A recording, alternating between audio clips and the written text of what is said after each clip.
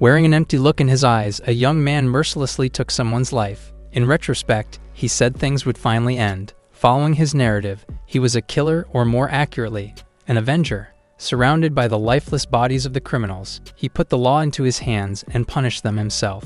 That said, what he accomplished did not make him any different from his victims. He spent five years bringing his plan to fruition, but despite the successful revenge, he couldn't feel any sense of fulfillment. As his resolve, he ended the cycle of revenge by using the weapon on himself. As he lost consciousness, his journey finally reached its conclusion, or so he thought.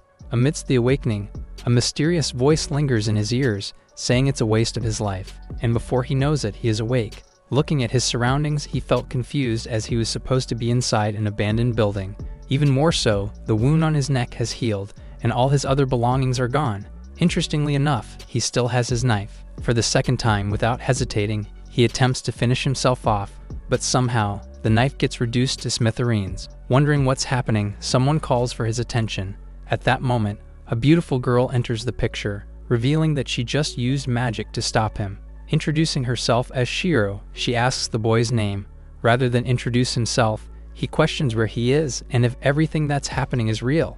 To his dismay, she won't answer any of his questions until he states his name. He finally introduces himself as Kurono, to which Shiro suggests shortening it to Kuro because Japanese names in that world are not common. Hearing this, he desperately wants to know where in the world he really is. Shiro shares that Kuro is an otherworlder in his case of being reincarnated, there is not rare. There and then, he realizes that he is neither in Japan nor on Earth in general. Seeing him reacting a bit nonchalantly, she mentions he would have been cuter if he acted more surprised. For the record, Shiro is also an otherworlder, and she will be his guide in his new world. Kuro then asks why she had to intervene earlier. She notes that to maintain the fairness of any game, there's a warning before the player starts. As she keeps beating around the bush, he steals her dagger and points it at her, while he demands a clear answer, she raises both her hands and asks why he has to do it.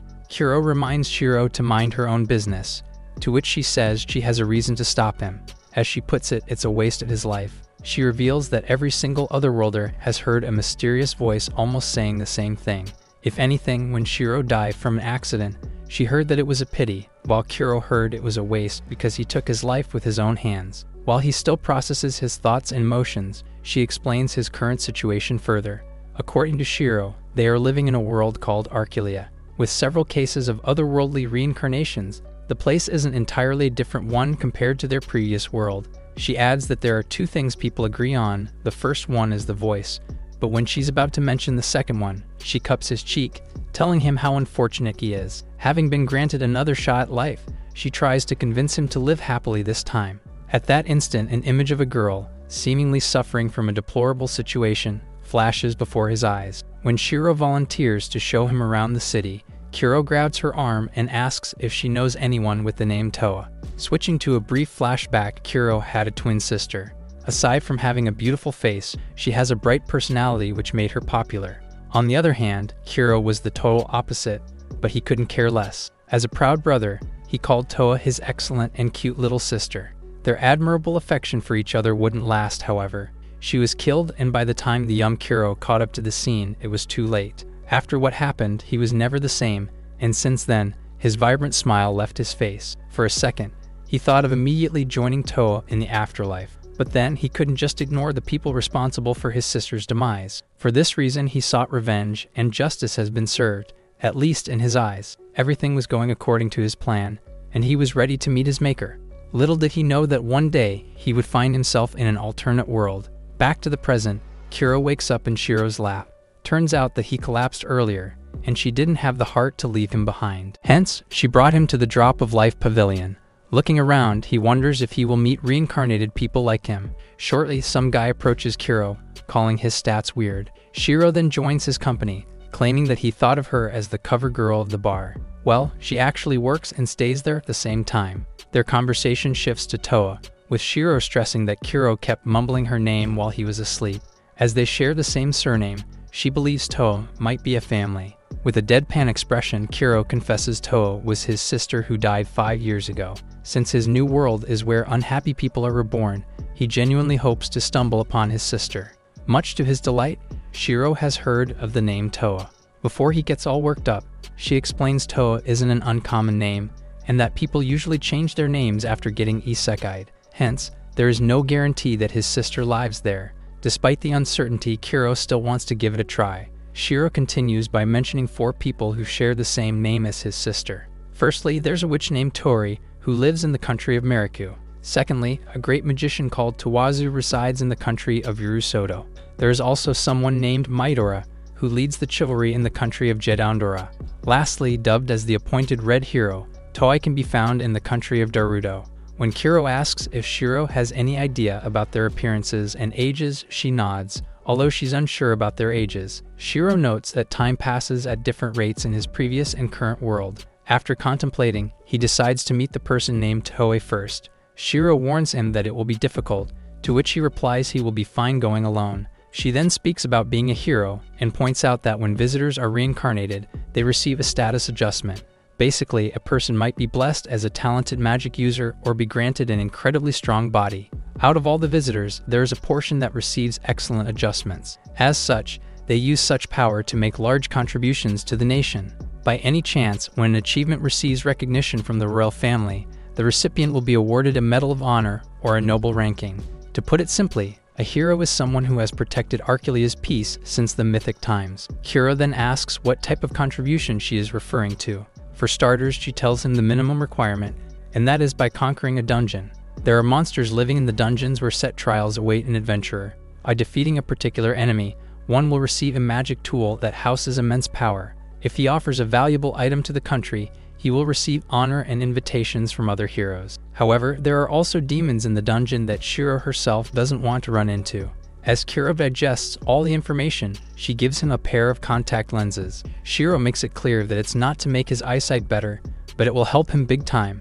As soon as he wears them, his jaws drop open when he sees user interfaces. Shiro states that it's called a direct glasses device, which allows its user to get a peek at someone's personal information.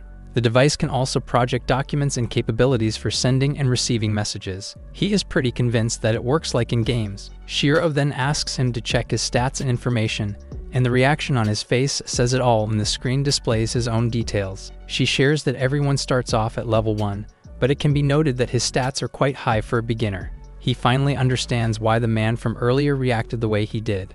From his proficient magical attribute black to the cursed sinful deed, the divine protection eternal prayer, draws his attention. Shiro explains that there's a god in their world and that divine protection works like the concept of guardian spirit. She notes that there's a god named Toa, and he had the divine blessing even before he was reincarnated. In connection as a recipient, he will be granted a maximum survival rate. At that point, Kira realizes that his sister has prayed for him to continue living, and she has been with him all along. Shiro alerts him that even though he has divine protection, conquering a dungeon could still lead him to his death. Even so, he has no plan to back down as he promises to reunite with Toa at all costs. To begin his new journey, Kuro learns more about Darudo, the nation centered on the continent of Archelia. The place is abundant in natural resources, and its prosperity is maintained by the heroes. Starting in Jerushiasu, the country's royal capital, Kuro marvels at the sight of the buildings until Shiro calls for his attention. From the looks of it, he decided to let her join him in his pursuit. Since it will be troublesome if they get separated, she extends her hand, leaving him wondering if it's really necessary. Even though he is being treated as a kid, he takes her hand, and they stroll around the town. They drop by a weapon and armor store where Kuro puts on a new fit. Sporting his adventurer look, he asks Shiro if the gear he is wearing will be enough for dungeon clearing. She stresses that he should be fine since he's the one in gear, and he's going to take part in beginner level dungeons anyway. She adds that with his current stats, even if he gets hit by Truckun, he will not die and get isekai'd again. For their next stop, they enter a magic equipment store. She suggests asking the store manager to help Kuro understand how his black magical attribute works. Once inside, a Baldi enthusiastically greets Shiro, congratulating her for finally finding a man. After clearing up the misunderstanding, the Baldi introduces himself as Juru. Kuro then asks him what's the difference between the magic equipment they would get inside the dungeon and the one he is selling. Juru takes out a sample known as sheets, an artificial magic equipment. Once a person melts the sheets into his mouth, he will obtain a magic skill. Judging by his reaction, Juru suggests he try it outside to prove his claim. Later on, at the magic training area, Kuro consumes all the sheets. The magic formula pops up inside his head, and Juru asks him to activate the wind attribute first. Getting in the zone, he commands the air and successfully conjures up wind magic on his first try. Shiro tells him to proceed with water magic and aim for the blowing leaves. A few seconds later, he effortlessly hits his target with water. After that, Juru advises him to try some of his other stuff, but it seems like he isn't done yet. By combining wind and water magic, he is able to freeze a floating leaf, leaving the two spectators impressed. Talking to himself, Kuro admits he's getting the hang of it. Before they leave the store, Juru shares that he doesn't have any idea about his black magical attribute, but he will let him know once he has the information. Still holding each other's hands, Kuro apologizes to Shiro for paying for all the items he shopped for. She tells him not to sweat it because he will pay her back once he's already earning from defeating monsters. To add, the interest accumulates over 10 days. Suddenly, Shiro panics when she remembers she needs to buy something for someone. In haste, she leaves Kuro for a moment, asking him to wait for her until she arrives. He would have wanted to help her go shopping, but she did not let him speak, and so, Kuro finds himself alone, prompting him to think things over. As he puts it, he is definitely not on Earth, and Archelia's reality revolves around adjustments, divine intervention, magic, and whatnot. While he imagines seeing his sister again, someone interrupts him. Turns out that it's a girl, asking him if he is the most recent visitor. Her eyes immediately capture his attention as he finds them beautiful yet dark. When Kuro asks about her identity, she asks him to inspect her. Looking at her stats, he figures that her name is Quenti and she belongs in the hero class. This leaves him thinking that she is the same as Toei, the hero he is searching for. Checking his details back, Quenti mentions that his stats are high for a beginner. He changes the topic and points out that heroes like her are amazing because they are able to maintain the country's peace. As if she flips a switch, when he states that they slay demons, acquire magic tools, and subjugate enemies because they are heroes. Ultimately, they talk about his rare magical attribute. According to Quenti, fire and water attributes are the common attributes. That said, she doesn't possess the natural ones because she holds the white magical attribute. She notes that she's just like Kuro, and there's a high probability that they are the strongest color attribute holders to be born in Archelia. All this time, Quenti believed she was alone, and that she was the only one special until she met Kuro. She declares that in no time, he will surely be worshipped by the people just like her. He then asks her if quitting being a hero has ever crossed her mind. He adds that it's okay to run away if she desires to. Quenti reveals that Kuro is the first person who told him that. With the way she spoke about a hero's duty, he claims she sounded bitter. Even though he doesn't know much about her situation, he advises her to run away if she's being forced to do something, regardless if it troubles someone. In short, Kuro tells her to do what she likes. Quenti admits she wouldn't know what to do once she finally abandons her duty. For that, he asks her to worry about it once she has run away. It appears that the pep talk works as she cracks a relieved smile. Just then, Shiro arrives, and when he's about to introduce Quenti, she vanishes into thin air. He refuses to talk about meeting her, leaving Shiro clueless about his first encounter with a hero. Unfortunately, he missed the opportunity to ask about Toei. Sometime later, at the outskirts of a dungeon, the guards inform the duo that another party has already entered the area. They warn them to be careful as they finally get their chance to siege a dungeon together. Before they take the first step, Shiro announces that there's no such thing as revival magic in his new world, which makes one's death inevitable. Since it's Shiro's first time, she tells him they won't go too far in the dungeon. With that, they jump straight into the deep hole. As it seems, there are scattered dungeons across Archelia, and these can be classified into two types the first one is known as the Holy Shrines or the Territory of Gods, where the angel's trial awaits. The second one is called the Demon Grounds that lead towards deep abysses. This is the territory of the demons and where monsters are born. Speaking of which, they enter the Zest, the fire element demon ground. As Kuro keeps his guard down, Shiro warns him that just because they are on the first floor doesn't mean they won't come across some monsters. Following her revelation, the monsters are desperate to reach the surface to invade the people's domain. Since they are a threat to mankind's safety, raiders step in to protect the people. The monsters are being suppressed at fixed intervals, and the country gives reward money to those who defeat them. With the lenses capable of recording visual data, the authorities can confirm the kill. Minutes later, Kuro just runs into his first sighting of a monster, particularly a small one. The one eyed monster bares its sharp teeth and attacks him. With little to no effort, Kuro gets rid of his first target. While he's having a main character moment, Shiro alerts him for the next one. Known as Kekura as his next prey, they can shoot out fire pillars from whatever they touch. As they continue to burn the ground, Kuro freezes their bodies. Shiro praises him for his performance as a newbie, even calling him extraordinary. For all that, their quest is far from over as more monsters enter the scene. This is the part where Shiro joins the fun as she displays her combative skills, taking down a number of enemies. In a short while, she notices Kuro is being surrounded by the much larger monsters. Now wielding a sword, he uses endowment magic, making his weapon sharper and stronger. With Toa's image in mind, he eliminates the monsters with powerful strikes.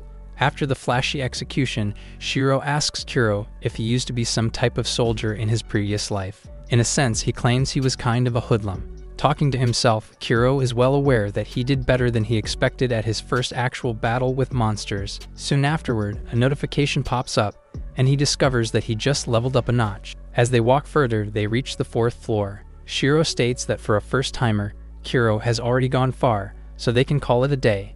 As expected, he wants more action. She shares that of all the people she guided in dungeon clearing, he's the first person who has so much enthusiasm. As she makes it clear that she's confident that Kuro can still explore the labyrinth further, he suddenly lifts her body with a Princess Carry. With Shiro blushing in the background, he rears her up and apologizes for only thinking about himself and not considering her stamina. Hence, he finally agrees to call it quits, Upon noticing her crimson dyed cheeks, she begs him to put her down already. At that instant, they hear a rumbling sound down below. Shiro speaks about the party that went in before them, so she asks Kuro to head back first. Alone, she wants to check the other party's current situation, but he simply won't allow her. He reiterates that he was not a decent man before, and he has no plan of becoming one in his present life. Even so, he will act based on what he thinks is right, and letting her go alone feels wrong.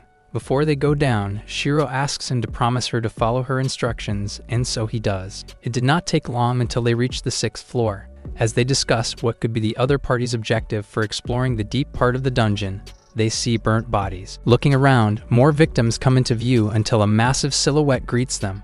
Once the smoke dissipates, it reveals Amemios, the dungeon boss and the monster that holds the magic tool. His eyes widen in shock when he notices that two kids are standing before the monster. Shortly, a man with hideous bangs tells the children to buy him more time as he prepares his magic equipment. While Kuro wonders why the man is standing too far from the kids, Shiro explains that he is a nobleman commanding his slaves. Indeed, the slave system also exists in Arculia, and the poor ones have no choice but to obey their master's absolute orders. It appears that the nobleman brought his slaves over to the dungeon to use them as tools. In doing so, he will acquire the magic equipment and raise his reputation as well. One of the kids charges at the monster, only to be dealt with with one strike. With fear in her eyes, the remaining kid can only watch her friend slowly succumb to his death. Enraged, the nobleman commands the girl to use magic to draw the monster's attention. In the middle of the dire situation, he reminds her that her life means nothing. Trying to muster courage, she finds herself frozen in fear as the loud roar of the monster pierces her ears. Thankfully, Kuro interferes, and with one swing of his word, the Memios loses its right hand. With the girl still in shock, Shiro praises the flawless execution of his surprise attack. Before the situation gets out of hand, they decide to escape the place. When Kuro asks how the girl is doing, the monster breathes fire, pushing them back. For what it's worth, he asks if they pissed their enemy off after cutting its arm.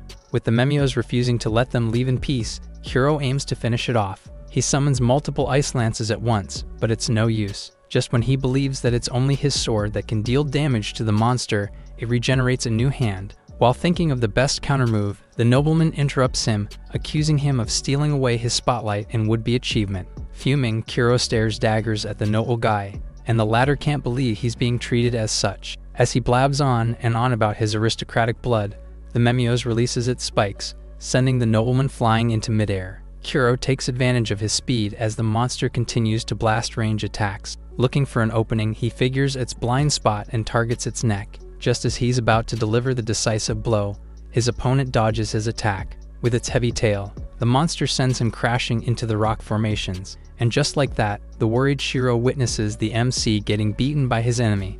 Out of nowhere, Kuro finds himself in an unknown space. There, he sees Toa in tears. He is about to tell her something, but she slowly drifts away until she completely disappears. Upon gaining his consciousness back, he stares at the monster in awe, overwhelmed at its power as a magic tool holder. Unfortunately for the entitled nobility, he just became the Memios' meal. Kuro believes he will be next in line, but he has no plan of giving up.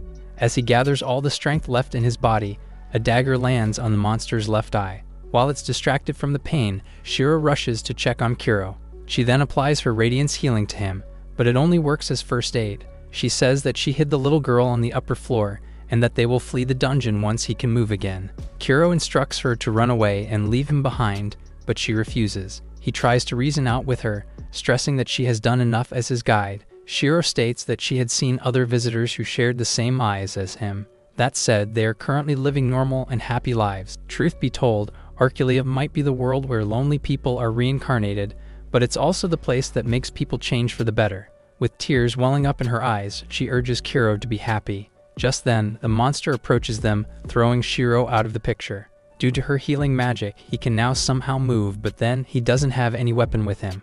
While figuring out the best course of action, he receives a message from Juru. The man informs him that he just found a description of his black magical attribute dated back to the mythic times, although limited. As per his research, black combines everything and converts it to power for the user. As the message draws to a close, Juru asks him to drop by his shop again. Standing back up, he vows to revisit the magical equipment store, help the little girl, and repay the money he borrowed from Shiro. Ironically enough, he has always wanted to kick the bucket, but now he wants to live and experience more things. Inside a black circle giving off a menacing aura, Kuro sets his eyes on his prey. Looking at it, Shiro realizes that she might have misunderstood his color attribute. Aside from obtaining magic from the artificial magic equipment, those gifted with natural attributes must have a deep understanding of their power to create magic. In Kiro's case, he, as the user, determines how he expresses his color attribute, and so, he freely chooses the form of his black magical attribute, known as Annex, the power to gather darkness and govern it. The gods bestowed upon an incredible power to Kiro. With Juru's help, he is able to shape the magic to what he wishes. By activating darkness unification, he transforms, covered in black armor. This grants him more power as his skill set acquires additional abilities. Watching Kuro from a distance, Shiro does not know exactly what to feel because he looks sinister. With the ladder in a safe spot, he decides to go all out. The Memeos charges at him, but he immediately restrains it with his black burial.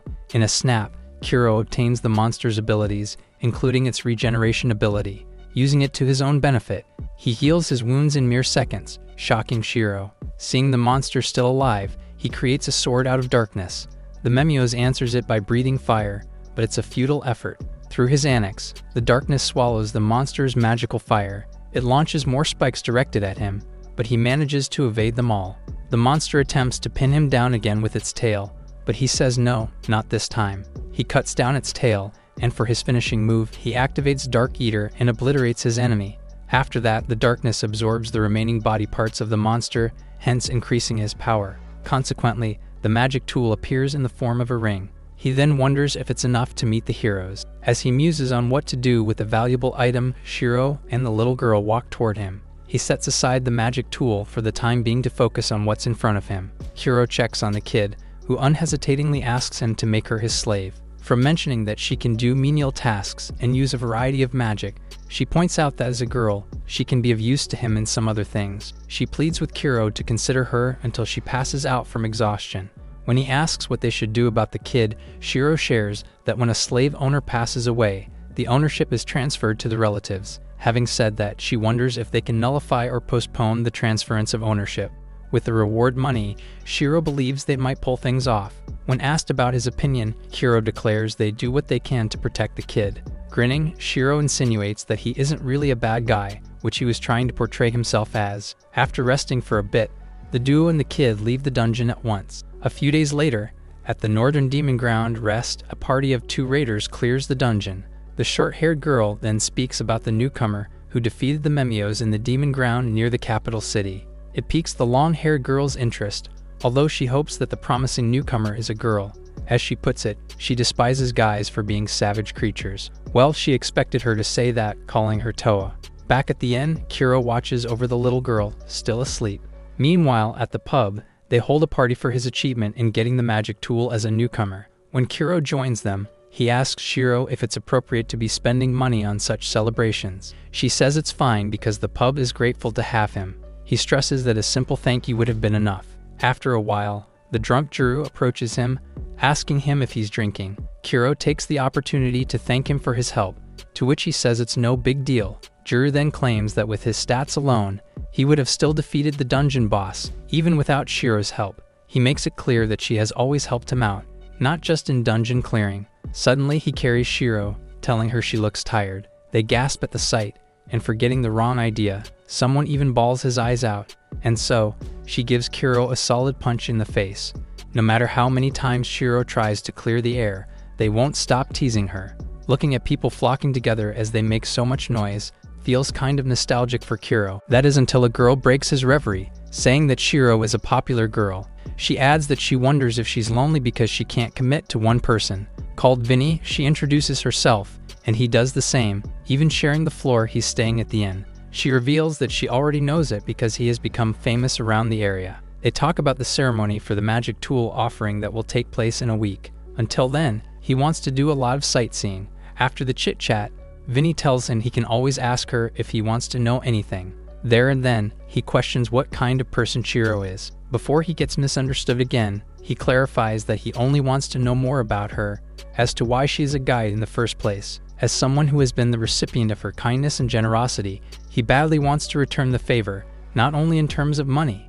Vinny suggests he spend more time with Shiro and that he should ask her directly. Speaking of the devil, she calls for him and leads her elsewhere. Unbeknownst to him, Shiro is about to show the makeover she did for the slay girl. There she goes, Ikona, who now looks like a completely different person. In another flashback, the duo successfully convinced the head of the noble's family to pass Ikona's ownership into their hands. They discovered that the nobleman who died acted in his own will, and his father agreed to it because he thought he was only raiding a dungeon by himself. Once the nobles left, Hiro asked the girl's name, to which she said she was number 38. He asked again, and she finally revealed her real name, Ikona.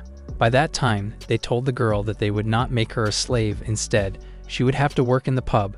In addition, Kuro mentioned that he wanted to be her friend. For being treated inhumanely by her former master, Ikona couldn't help but feel emotional after hearing such words. As a slave and an orphan who witnessed the death of her parents before her very eyes, she confessed that she had no idea what to do in her life anymore. For this reason, they'd promised to help her figure things out. Back to the present, Ikona swears to do her best at the pub. She expresses her gratitude to Kuro, addressing him as her master, but he refuses to be called such. Now that they have become friends, he tells her it's okay to call him by his first name. Looking at Ikona, smiling from ear to ear as she works, Kuro finds another reason to protect the people who can't protect themselves. Later on, a big guy named Tega enters the pub, seemingly in a terrible state. He passes out, and everyone rushes to help him. Once he regains consciousness, Kuro asks about his identity. Turns out that Tega is also a raider and a regular in the pub.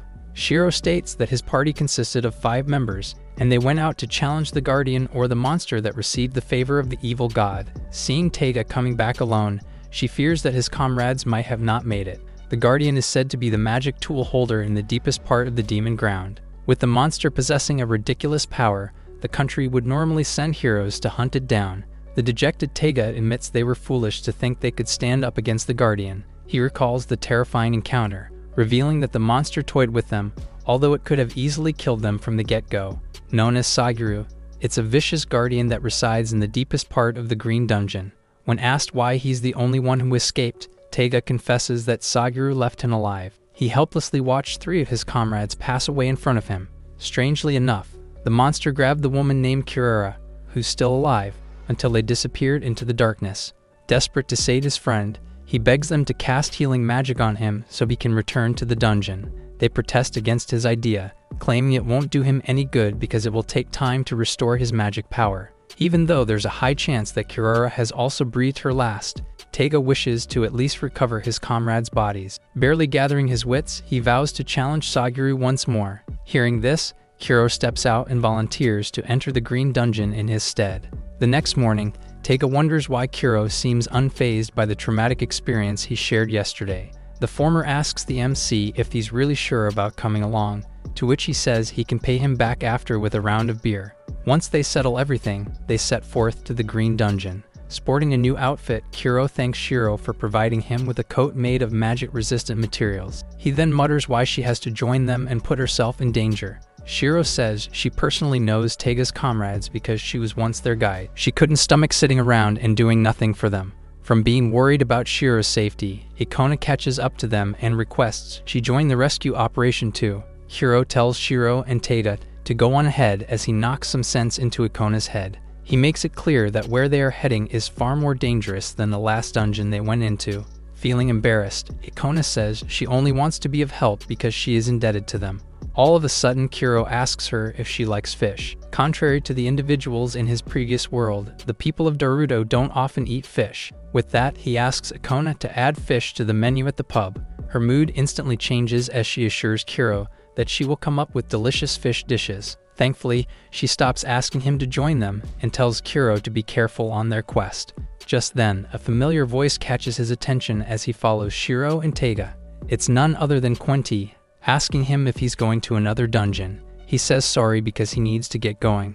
It's not the right time to get into a conversation, but she questions why he has to enter the green dungeon. Quenti stresses that she understood his objective when he went into the Zest, but this time, she wonders if he's doing it to become a hero. Clenching his fist, Kiro declares he has no interest in becoming a hero. She says that Tega and his party deserve what happened to them for challenging the Guardian despite being weaklings. Hiro brushes her statement aside and tells her that even though there's a slim chance that Kirara is still alive, he still wants to try. Aside from pointing out that it's the right thing to do, he can't just ignore the free beer he will chug once everything's over. Shiro then shouts at him for taking so much time, and just like before, Quenti vanishes without trace. At that moment, he hears a warning about his color attribute not being an invincible tool. As such, if used without practicing caution, his own magic might eat him up. Upon their arrival at their destination, the duo learns that they can locate Saguru in the deepest area, the 13th floor. For the second time, Tega asks Kuro if he wants to do it, annoying him a little. As they walk further into the dungeon, they are surprised to see plants growing everywhere, befitting what the place is called. Kuro notices that the insides of the dungeon cannot be compared to its surface. As opposed to the Zest, the Green Dungeon houses intermediate level monsters, meaning they are much stronger. That said, they easily shatter them into pieces. Shiro talks with the monsters, reminding them she is not their enemy. She's enjoying herself until a huge centipede interrupts her. As she's scared stiff of the bugs, she runs for her life, signaling Teiga to jump in, slicing them up. Unwilling to waste their time battling Small Fry, he instructs them to follow him. However, he notices Kiro literally just standing like a statue as the monsters surround him. Without laying a finger on any of the enemies, the darkness saves Kiro the trouble of eliminating them. Witnessing how the monsters have been taken care of in one go, Tega notes that his black attribute somewhat differs from what's told in the heroic tales. He explains that there is a book titled The Heroic Tale of the Great War Between Humans and Demons. The content talks about a squad of heroes who fought an evil god. Among them is one of the popular characters called the Black Hero. Shiro is actually aware of it, although she didn't think it was worth mentioning to Kiro since the author only used his imagination in Black Hero's depiction. As per the author's view, he is a fair and righteous person who fights demons to protect humans. Needless to say, Kiro admires the Black Hero, but he also knows that they are completely different because he only does things as he pleases. Seeing him laughing, Teiga can't comprehend his antics. In relation to the story, he adds that the white hero loses her memory, and the black hero loses himself. Based on the book, the citizens of Darudo greatly supported the heroes who fought the demons. The story itself guides inspiration from the scriptures of Archelia. While there are many differences between the two, one notable difference is the hero's death. Following the book, the two heroes sacrifice their lives to win against the evil god. In the scriptures, the mysterious black hero and the other person were never described in detail.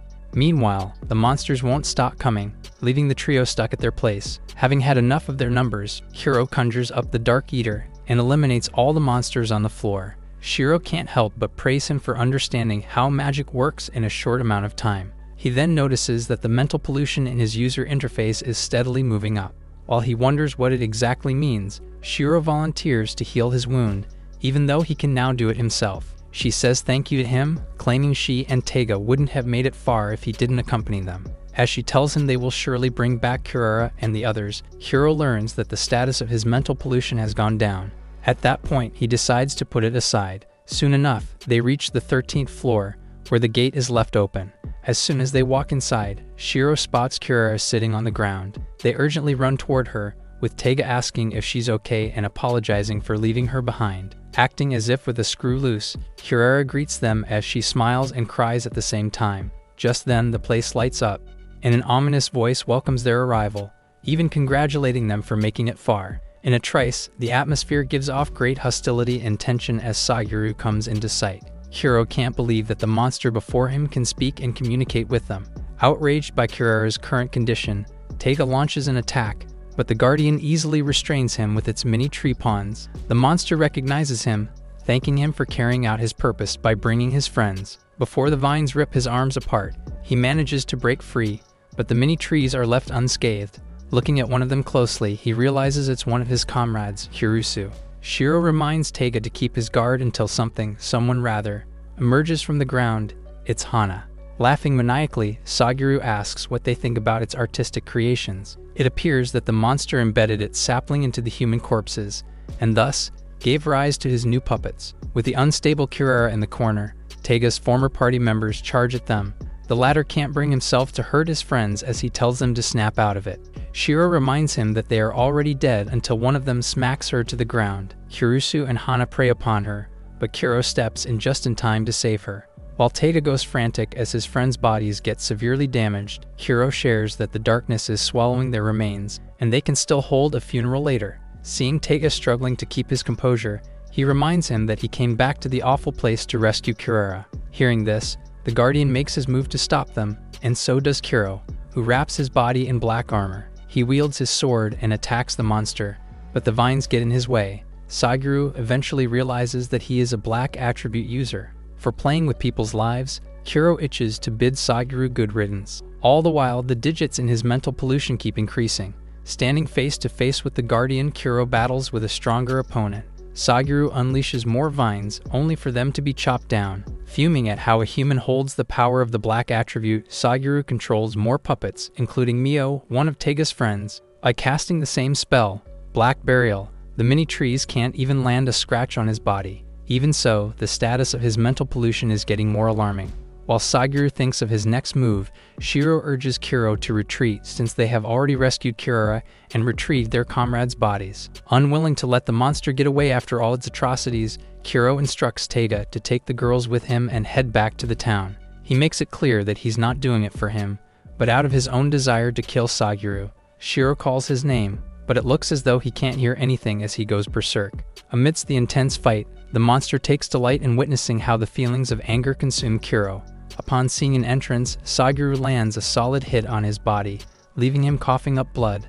The Guardian hurls his body and he crashes to the ground. The extreme discomfort somehow wakes him up as he tries to settle his nerves. He then reminds himself not to act rashly just like what he did with his successful revenge. Soon afterward, he finds his bearings and looks at his opponent straight in the eyes. For all that, Kuro abruptly stops walking towards Saguru, prompting the latter to mock him.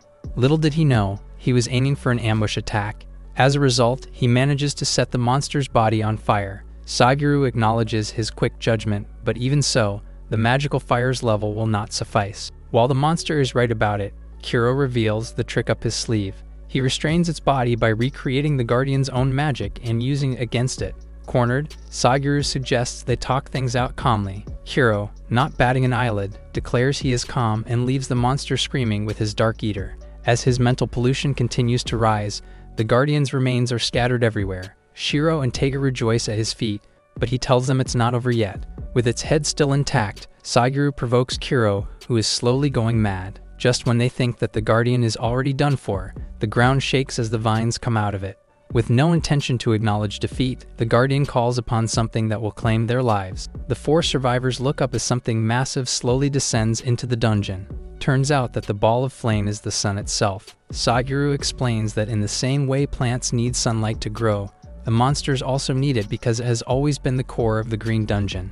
As the source of life, even though Saguru withers and dies, new monsters and a guardian will arise. To make matters worse, the sun can also burn the monster's enemies into ashes. Before the sun gets nearer, Shiro shatters the vines and asks Kuro to escape the place. However, the monster is a step ahead as it closes the gate. Saguru bursts out laughing, saying that whether or not they keep the guardian alive, they will face their demise. As Saguru tells them to perish with its body in the dungeon, Kuro asks the monster to die by itself. With the serious injury he suffered from Saguru's attack, it slowly takes a toll on his body. Nonetheless, he swears to see another day with his friends. He launches an attack straight at the sun, but the darkness fails to devour it because of its overwhelming size. Kuro admits that even if the Dark Eater is capable of consuming the entire sun, it will take too long. Having said that, he continues to throw aggressive charges, leaving him bushed. Shiro tries to stop him, suggesting they break the gate instead and rush to the surface. Kuro stresses it's no use because they will only get burned alive before they make it out. For a moment, he considers using his other attributes, but he knows that these won't outdo his black attribute. Desperate to take the sun out, Kuro prepares to deal another strike to it. That is until his mental pollution reaches a new peak, rendering him paralyzed. Elsewhere, Kuro finds himself in a dark place. He remembers seeing his stats before what happened, making him think that it might be he is there. Shortly, he comes across a dark entity, to which his little sister tells him not to take another step. Toa warns her brother that he shouldn't unlock such power because he would lose himself in the process. She notes that the dark entity holds a destructive power, so he must go back to avoid the worst case scenario. He then convinces himself that the Toa he is talking to is only an illusion created by his mind. Without enough time before the sun totally descends into the dungeon, Kuro decides to take a risk for his friend's protection and his chance to reunite with his sister. By coming in contact with the dark entity, Kuro acquires a new magical skill. Just a few steps away from the Green Dungeon's entrance, Quani turns up. She ponders why Kuro has to risk his life despite receiving a warning beforehand. By misusing the color attribute's power, he just brought himself to his own destruction. If anything, he successfully annihilates both Suguru and the sun. After surviving the ordeal and believing that everything is over, Shiro calls for Kuro. He wonders who's calling him, and upon seeing their silhouettes, he thinks of them as his enemies. Luckily, Tager reacts quickly to save Shiro as she almost gets slashed by the flying axe. After a while, the axe gets absorbed, leaving them thinking that if they recklessly move around, they might disappear into nothingness too. While Shiro tries to comprehend what's happening, Tega claims it's his fault for not disclosing the passage, saying that the white hero will lose her memory and the black hero will lose himself. He apologizes for keeping quiet and alerts Shiro that if he truly loses himself, then there's no guarantee that they will listen to them. Unperturbed by his revelation, she persuades him that it's going to be fine. As she puts it, Kuro is just a little lost, and as his guide, she has a duty to fulfill. Taiga notes that to bring the black hero back, he must be reminded of something precious to him, and so, Shiro walks straight into the darkness to wake him up. Once inside, she tries to avoid touching the black mist, but it's just impossible. As it leaves her skin with a stinging sensation, she worries that Kuro will blame himself. Trying to ignore the pain, Shiro realizes that he hasn't completely lost himself because the black mist did not eat her up. A few moments later, she catches sight of Kuro kneeling on the ground. She approaches him and asks if he can understand her and if he still has self awareness. In another dimension, the girl resembling Toa states that she knew she wouldn't be able to stop him from seeking help from the dark entity. She reveals that she went through all the trouble to look like his sister to protect him, but then she couldn't stop him. In spite of that, she's convinced that he won't die until he finds the real Toa. The girl reminds him that he won't be able to reunite with his sister if he doesn't free himself from the dark entity. Toa feels relieved when she hears Shiro's voice calling out to him. She shares that she's safe with Taiga and Kirara, and they are waiting for him to return. While Kuro faintly remembers who they are, Shiro reminds him that Ikoma has prepared him a meal. She also mentions that his main goal is to search for Toa.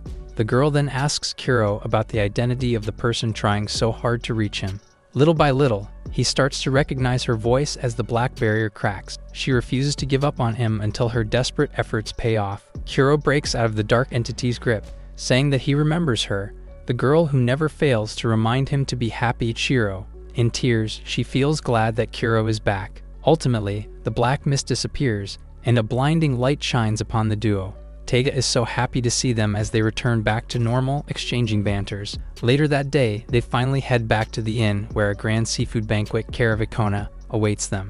Some time passed since the Green Dungeon incident, a guest arrived at the inn. Kuro steps out of his room and bumps into Taiga. Giving himself a respite after fighting two villains, he gulps a cold beer paired with Ikona's new specialty. Kuro then asks how Kirara is doing, to which he says she is still recovering through a magic healer's help. Taiga takes his chance to thank him again as they were able to hold a proper funeral for his fallen comrades. He then asks him about the status of his mental pollution. Kuro states that it's holding steady at a low level. He adds that he should be fine as long he doesn't overuse his black attribute. Even so, he's thinking of consulting magic healers or anyone knowledgeable in the same field. He notes that he can't afford to lose himself again because Shiro won't always be around to save him. Taiga speaks about another passage in the scriptures. He says that the black hero needs both loved ones and comrades to fight alongside him.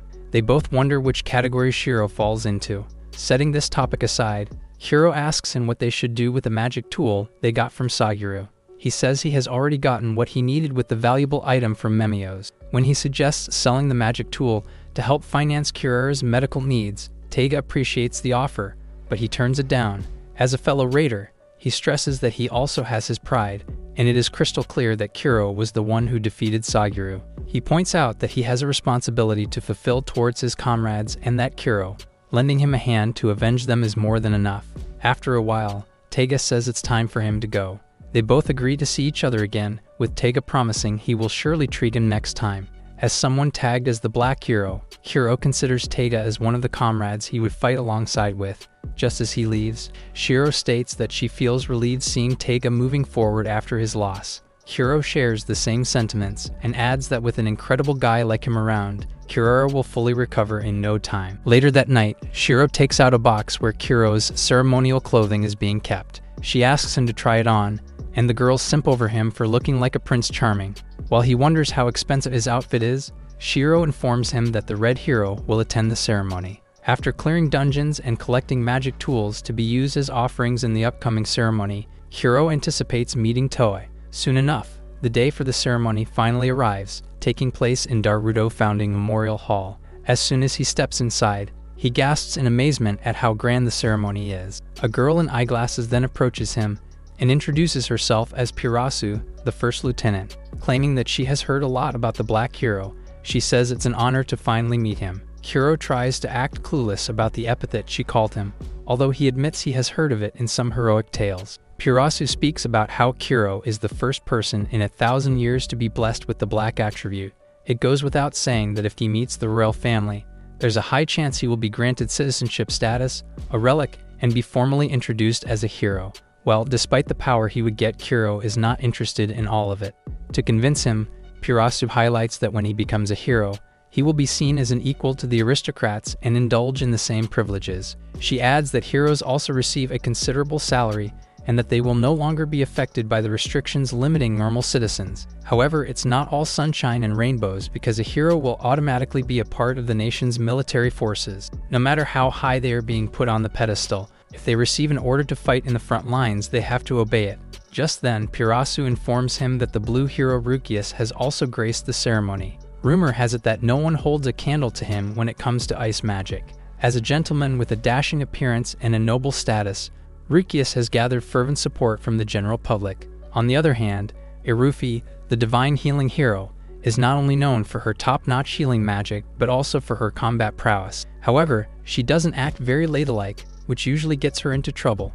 Looking at each one of them, Kuro notes they are for sure unique characters. To protect the hero's image, Pirasu declares that their competency on the battlefield makes up for their flaws. She continues and reveals that aside from him, there are seven heroes. Amongst them is the great hero who earned fame for single handedly defeating several magic tool holders. Hearing all her stories, Kira recalls Quenti's statement about them being the only two individuals possessing color attributes. He believes Rukius might also be a legit user of color attribute as the blue hero. Hero then remembers the person he's been looking for, and in a flash, the red hero arrives. Rukius calls out Toa for being late, to which she says she had to deal with a bothersome dungeon boss on the way. The playful Irufi invites her for a drink, only to be told she prefers sweets to alcohol.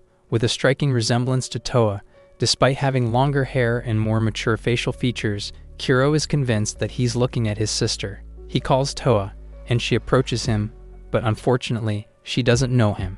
Later on, the hero appointment ceremony officially starts. Kuro has become a citizen of Darudo and a nation's hero to an extent. For all that, his mind seems preoccupied because of the reunion he had with Toa, which certainly was not how he imagined it would be. Toa asserted that they had never met before and Kiro was left dumbfounded because his sister was obviously not playing with him. Indeed, Toa did not recognize him at all. No longer in the mood to talk with him, she walked away and asked Rukius to get her some juice. Interestingly enough, Irufi seems to know something, leaving Kiro dying of curiosity. She formally introduces herself to him and shares that she is also known as the Magic Healer. With her caliber, she specializes in tuning the mind. She explains that she helps calm down someone's mind disturbed by any stimuli. From the typical everyday stresses to the memories of a gruesome death, she can help anyone suffering from that range. As such, she would frequently treat the visitors of Archelia who mostly share a tragic past, and Toa was one of them. As a doctor, Irufi shouldn't disclose confidential information about her patients, but she decides to tell Toa's story. She arrived five years ago. After her admission, she was always in a state of panic. She was unstable as she would just scream for no apparent reason and would cry all day long. In between her sobs, she would mutter Kochan. Even though she was struggling mentally and emotionally, she did not miss out on any sessions for her treatment.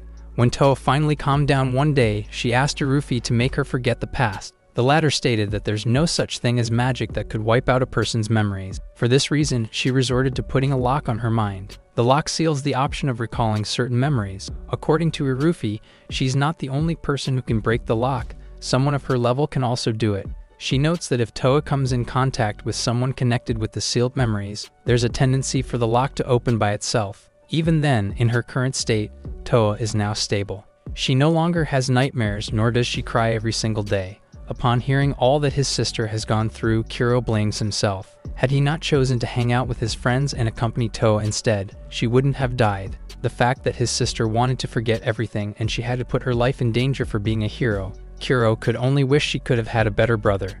Rukius then notices that he's acting a little strange. Pirasu checks on Kuro, but he says he's okay. Now that he has confirmed that Toa and Toa are the same person, he wonders what to do next torn between letting his sister live her life without having the traumatic flashbacks and letting her remember that she has a brother, Kuro gives it a careful thought. While he's at it, Pirasu asks him to reconsider his decision about becoming a hero. Although he's been very vocal about not wanting to be one, the good deeds he did, namely rescuing a slave girl and the raiders in the Green Dungeon, his actions speak for themselves. Pirasu asks Kuro what's holding him back, but he refuses to answer it. Before she leaves him be, she tells him that she can't believe that there's someone like him who neither wants riches nor glory, but still puts the people's safety as the top priority. Sometime later, Kuro stumbles upon Toa. This time, he addresses her with appropriate honorifics and apologizes for his rude behavior earlier. She says it's all fine now because she doesn't hold grudges anyway. It's safe to say that he knows it too. Toa asks Kuro if he came from Japan because of his first name Kusuke, and he confirms it. After she introduces herself with her full name, Kuro changes a syllable in his last name. They then talk about their age and birth date, and Toa realizes they share the same personal details. As she talks about them being like twins, Kuro can hardly contain his emotions. Seeing her smiling and moving and hearing her voice, he couldn't be any happier. An irritating voice interrupts their conversation, revealing a noble publicly humiliating his valet for messing up his drink. Kuro asks about his identity, to which Toa reveals that he's the Red Dawn hero Reiku. She alerts him not to bother with him until the man approaches Kiro. He expresses his delight in meeting the rumored Black Hero. Reiku then notices Toa beside him and accuses them of talking about him behind his back. If anything, she states that all she said about him is true. Reiku questions Kiro if he first appeared at the temple in the forest. He hasn't answered it yet when he asks him if he's acquainted with Shiro. Kiro says yes and shares that she is his guide. Reiku mentions that Shiro's mother was his guide back then. He states that they worked so hard to run the inn, while he was too busy with his hero duties. Hence, they became alienated from each other. While Kuro is baffled as to why Shiro never talked about her mother, Reiku tells him she did the right thing. Acting all high and mighty, Reiku announces that he's the one responsible for the death of Shiro's mother. With Kuro about to throw a fit after hearing his revelation, Reiku narrates what happened seven years ago. Just like Kuro, he was also from a different world. Known as the one man army, having a guide did not cross his mind. However, every time he went into the dungeons, Koko, Shiro's mother, would always tag along. The mother and daughter reincarnated to Archelia after an accident, and the former worked at a pub and served as the guide. Reiku found Koko as an annoying woman for being a busybody whenever he went to raid dungeons. After clearing several floors, she would always get in his way and stop him from going further into the deepest floors. Having had enough of her pestering, Reiku hatched an evil plan. Like how some nobles treat their slaves, he used Koko as bait to secure a magic tool from a dungeon boss. When he returned to the pub with the magic tool and without Koko, Shiro confronted him. As she kept saying to bring her mother back, Reiku punched her. Fortunately, the ruffians inside the pub intervened before the situation grew any worse. Reiku could have easily taken down the ruffians, but he let them off the hook to avoid more trouble. Nevertheless, he admitted that if it weren't for Koko, he wouldn't have been a hero. With a villainous smirk, he asks Kuro how is Shiro doing, to which he answers it with a glare. Reiku taunts him even more, prompting Pirasu to interfere. She reminds Reiku not to cause a scene because they are celebrating the birth of a new hero. He orders her to shut up and stop shoving her nose into his business. Kuro then asks if he really laid a hand on Shiro. As a response, Reiku confesses that the look on her face with her nose bleeding was the most amusing. Things escalate quickly when Kuro gives in to his provocation, telling him to be his guest if he badly wants a fight. Since they can't be stopped, an exhibition match just got added to the ceremony. Rukius and Toa talk about how Reiku might get himself in trouble for facing the real deal. It appears that the other heroes only add color to their titles as per the nation's mandates. The truth of the matter is that only Quenti and Kuro possess the real color attributes, white and black, respectively. While Rukius has already a clear winner in mind, Reiku initiates the battle and summons the light of dawn that consumes everything. To counter it, Kuro activates Dark Eater, sending the battle arena turning black and white. Much to his shock, his attack didn't work on his light. As the impact of a hero's power pushes him to the edge, Reiku charges at him. Kuro manages to block his sword as Irufi cheers for him to crush his opponent's face. Reiku stresses that the result of their battle has already been determined because he is at level 56 while he's only at level 9. Although Kuro appears to be at a disadvantage, Toa claims that battles aren't decided by levels alone. Kuro acknowledges Reiku as a strong opponent, however, he relies too much on his strength. Suddenly, Reiku's cape gets caught up in fire. While he's distracted, Kuro wraps his body with vines. Before he can escape from the restraints, Kuro aims for his arm, although he's not sure if he slashes the arm that struck Shiro.